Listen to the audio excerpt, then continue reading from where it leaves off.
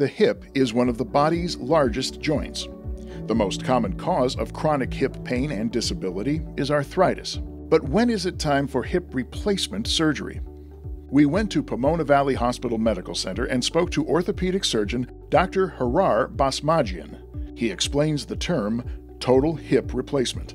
A total hip would mean replacing all the parts. And so there's a part that's part of the femur, the thigh bone, and we call that the ball side. So that's got a ball on it, and the hip's a, a ball and socket joint. And so the socket is on the other side. And so when you replace both sides, the ball and the socket, call that a total hip, as opposed to doing a partial hip replacement, where we'll only change the ball side. You know, that, that decision's really based on activity. And so what we're trying to do is restore patients' function and try to restore them back to where they were before whether it's arthritis that set in, before they've got this joint pain, before they got this fracture, whether it's for a fracture. Um, our goal is to make them as good as they were, and hopefully sometimes even better than they were.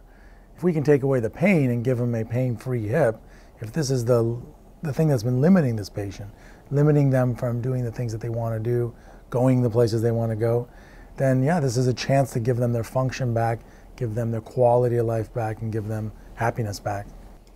Dr. Basmajian talks about the total hip replacement procedure. It's developed very eloquently into a very beautiful procedure, and it's done nowadays, you know, 45 minutes to an hour and a half, somewhere in there. And, you know, it's done through very small, minimally invasive approaches.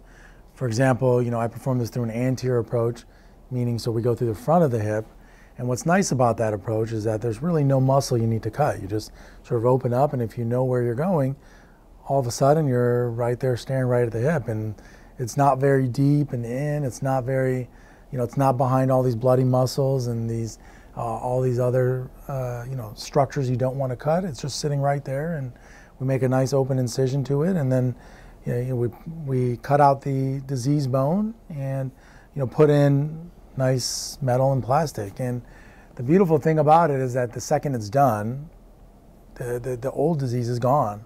And it's not one of these things where you have to wait and see. I mean, it's almost like instant gratification. You know, you, you get it done and the, and the patient's previous pain is gone.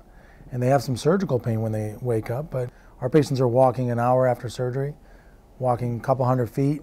Um, we're still keeping them the first night, but I would say about almost all of our patients are going home the next day. Going home and not to a rehab for two weeks like they used to do and not be bedbound for a few weeks. I mean, these people are you know, using a walker, going upstairs, uh, going to the restroom, showering normally. And most of the patients are actually doing it with very minimal pain medicine too. How successful is a total hip replacement? I mean, I would say it's a total hip replacement is probably I think last time I looked at it was one of the most successful operations that we do in medicine. The effects of the quality of life that it does and the success rate that it does, it's one of the best. But of course, as all surgeons do, we're always trying to improve it and always trying to make it even better than what it is.